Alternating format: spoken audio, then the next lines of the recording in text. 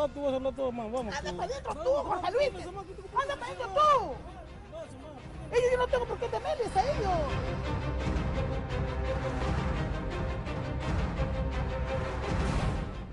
Esto también es Lima y está más cerca de lo que usted se imagina.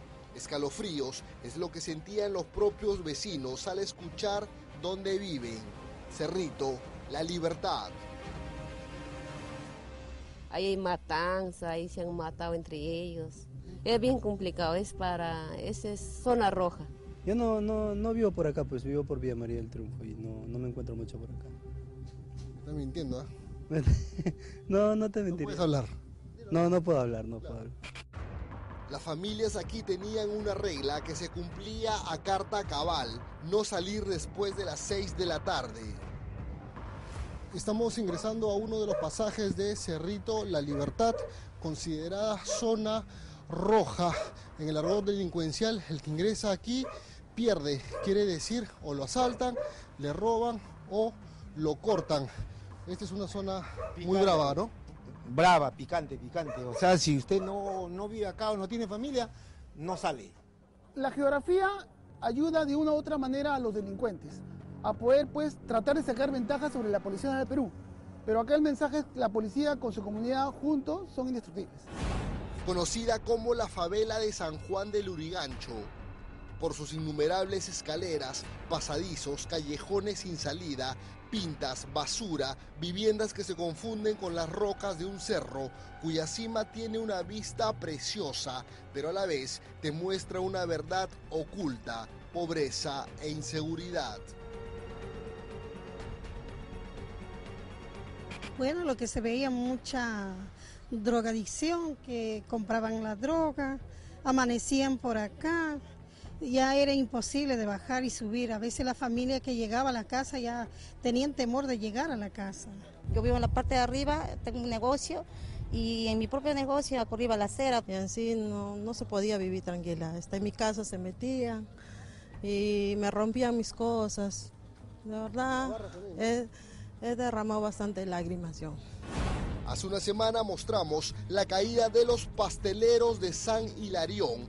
Para la policía, los principales vendedores de drogas de este distrito, dos hermanitos que convirtieron su casa en el punto de reunión de rateros, adictos, barristas y uno que otro ocioso. No podemos decir que se ha erradicado del todo, pero se ha dado el gran paso de poner cámaras en las partes bajas, poder tener el control de los sectores donde ellos pululan y lógicamente pues ahora empezamos a trabajar con las partes altas con la finalidad de poder erradicar. Al llegar aquí, la policía arma un bloque de seguridad. Siempre nos están mirando, aún quedan algunos vendedores de drogas en los cerros, nos comentan los vecinos. Esos mismos vecinos que hoy ya perdieron el miedo, armados con escobas, brochas, recogedores, franelas, empezaron a cambiar el rostro de Cerrito La Libertad. Poco a poco con la Policía Nacional nos está ayudando y poco a poco vamos a empezar a combatir toda la delincuencia, limpiando todo San Hilarión, Bombonera y todos los cerritos, ¿no?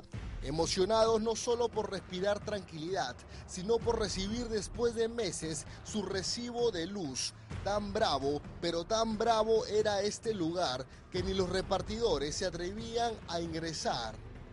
Ustedes no entregaban el recibo porque cuando venían a esta zona les robaban, les asaltaban. Y aparte de la parte de atrás también. Y había personas mal vivir. Y no, no- no podíamos, este, si no teníamos nada, lo, lo golpeaban a la gente. Este lo han recibido de- después de ocho meses. De ocho meses. Así como ese, esto. Todos los recibos de ocho meses están, están llegando. Ahí está el señor entregando los recibos. La cámara de seguridad recién instalada e interconectada con la comisaría de Santa Elizabeth les da una alegría que les provoca bailar y con recibo en mano.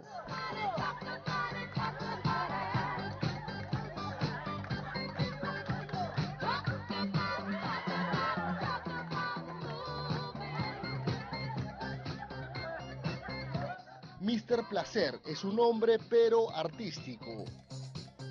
Tu nombre artístico es un poco pícaro, ¿ah? Sí, es por la manera de cómo bailo, de cómo le meto fuerza a, los, a las ejecuciones del baile y todo, por eso me pusieron así, placer. Un muchachito bailarín que después de años danza sobre el agrietado suelo de su barrio. Como hay más seguridad y todo, ahora los vecinos salen más felices tranquilos, las vecinas salen a conversar ahora afuera de sus casas, antes ni se sentaban afuera de sus casas. Agrupados en juntas vecinales y de la mano con la policía, la guerra contra la delincuencia está declarada.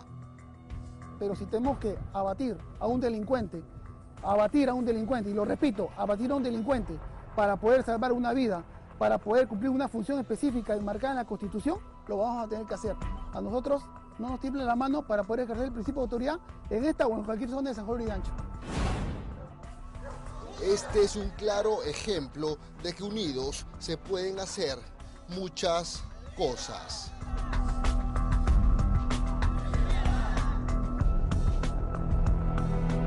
Por supuesto que sí, en Cerrito La Libertad hay gente de bien y lo único que necesitan es un poco más de apoyo de sus autoridades para poder sacar adelante su barrio.